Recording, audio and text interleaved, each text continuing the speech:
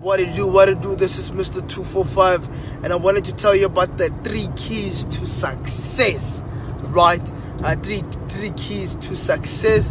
Number one is dedication. You know what I'm saying? So you need you need to be dedicated to what you're doing. It needs more work. It needs time. It needs you to focus on it. Number two, hard work.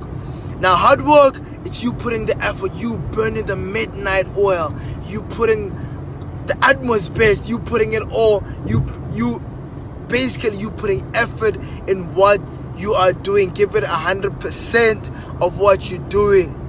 And patience. Now this is where we all lose it. This is where we all lose it.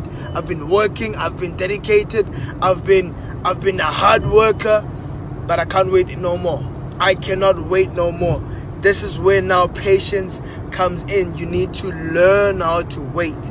You need to learn how to wait. I go by the name of Mr. 245 and I'm out. Enjoy your Friday. Enjoy your Black Friday as well.